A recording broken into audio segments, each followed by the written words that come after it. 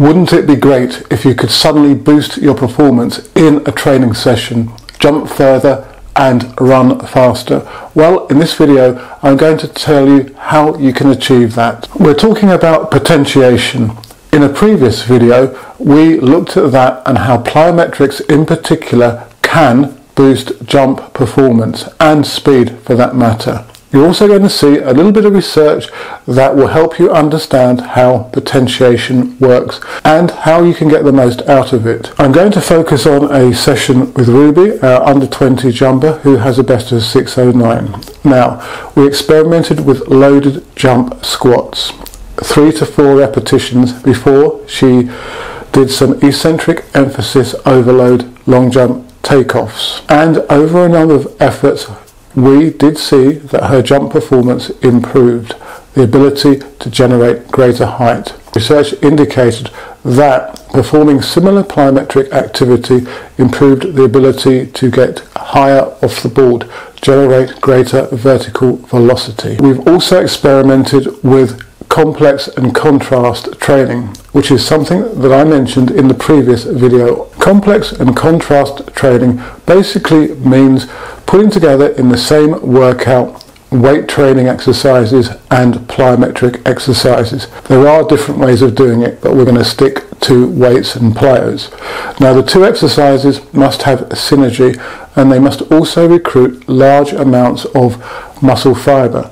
So it's best to do them with a heavy weight, for example, and then move on to some drop jumps. So jump squats, loaded jump squats, and drop jumps would be a good combination, as would split squat jumps, loaded split squat jumps, and single leg plyometric drop jumps. Contrast training is where you contrast the two exercises. So you do plyometrics, then the weight exercise in the set, and complex training is where you'd perform all the sets of the plyometric exercise, for example, and then all the sets of the weight training exercise.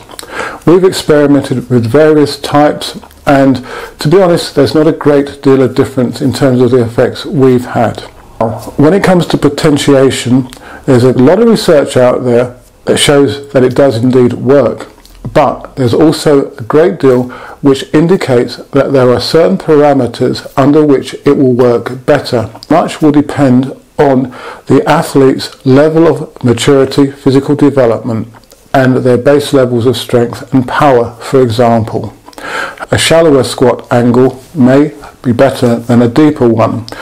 Also, in terms of plyometrics, plyometrics seem to have a better potentiating effect than other means as well. Also, the strength level of the athlete did have a bearing on the success of the potentiating condition and also the rest period as well between the potentiating activity and the other activity. You've got to, in your training, come up with the best protocol that works for you. Well, I hope you gained something from this video on potentiating and how you can utilize different types of activity to stimulate a greater speed and power response, for example. I'm going to make some more videos on this and follow up on our experiences. As usual, if you've got any particular questions on the subject matter of this particular video, then do leave a comment in the section below or through my other social media. And again, as usual, good luck with any competitions you've got coming up and of course with your training. And please do subscribe to the channel and turn on the bell icon so that you get constant notifications of when I upload new material. Do you want to take your performance to the next level? Then why not consider becoming a channel member at coach athlete level?